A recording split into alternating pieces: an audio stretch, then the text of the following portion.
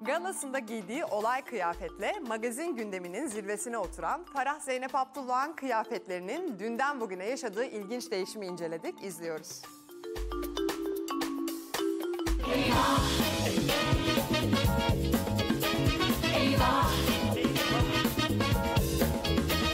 125 bin liralık eşofmanlı kombinezonuyla Bihter galasında ütü tutmayan yeşil takımıyla Bergen galasında şaşırttı. Sen affetsen ben affetmem Peki Farah Zeynep Abdullah hep böyle mi giyiniyordu?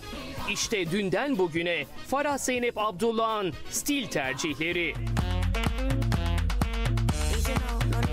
Son dönemin en başarılı oyuncularından Farah Zeynep Abdullah, özel gecelerdeki kıyafet tercihleriyle çok konuşulmaya devam ediyor. Son örnek, Bihter filminin galasında giydiği kıyafet.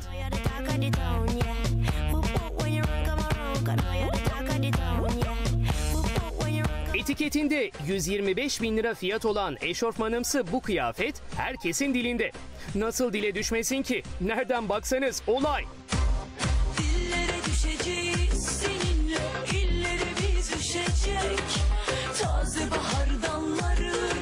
Farah Zeynep Abdullah'ı görenler galaya mı yoksa Cadılar Bayramı partisine mi geldik demekten kendilerini alamadı. Eşofman üstüne kombinezon giyilmiş havasını veren kıyafet hayaliymiş ünlü oyuncunun. gerçekten hayalimden de daha güzel olan e, kıyafetle geldiler.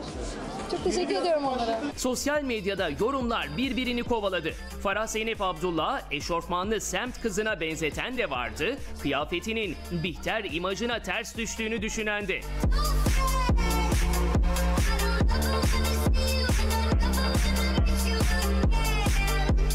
Farah Zeynep Abdullah'ın bunu strateji olarak kullandığını düşünenler de haksız sayılmazdı.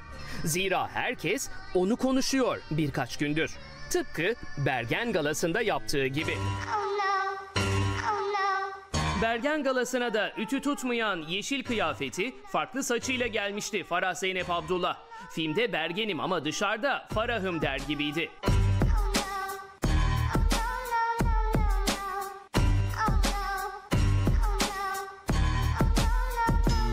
Sonrasında yaptığı bir açıklamada bu makyajın pişmanlık olduğunu söylemişti. Arkadaşlar zorla tuttular ve full sim sürdüler suratıma. Gerçekten o kadar istememiştim ki.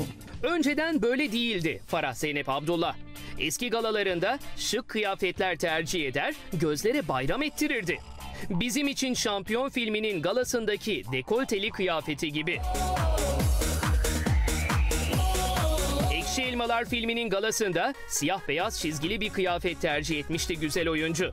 O zamanlar da şık olmayı tercih ediyordu galalarda. Look at my crystal nails. Doğu Demirkol'la beraber katıldığı Bayi Toplantısı filminin galasındaki altın sarısı, dekolteli ve kat kat etekli elbisesi de çok hoştu.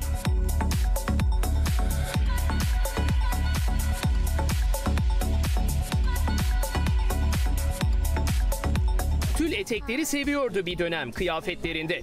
Ankara'da katıldığı ödül töreni kıyafetiyle Arif ve 216 galasında tercih ettiği kıyafeti de bunu gösteriyordu.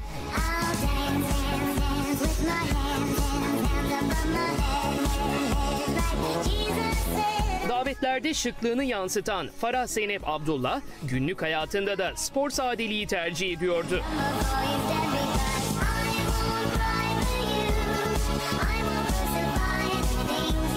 İki galasına kadar şık, son iki galasında biraz rüküş bir Farah Zeynep Abdullah çıkıyor karşımıza.